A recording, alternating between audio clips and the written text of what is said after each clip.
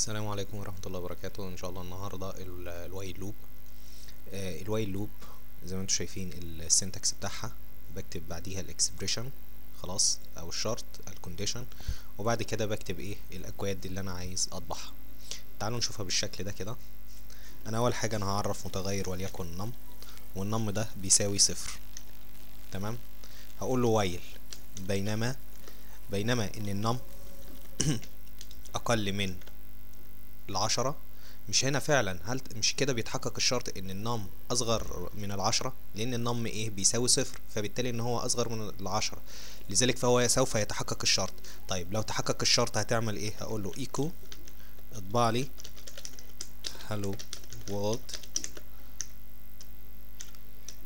br علشان أعمل آه وسم break تمام. وإن ال i قصدي وإن ال- ال num ده ماله بيزيد بمقدار إيه؟ بيزيد بمقدار واحد. على فكرة أنا لو شلت الشرط ده هيعمل لي crash للمتصفح.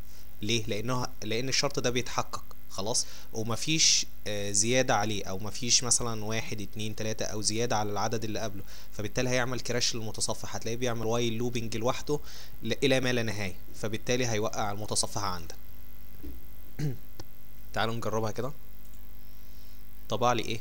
طبع لي ال- ال hello world.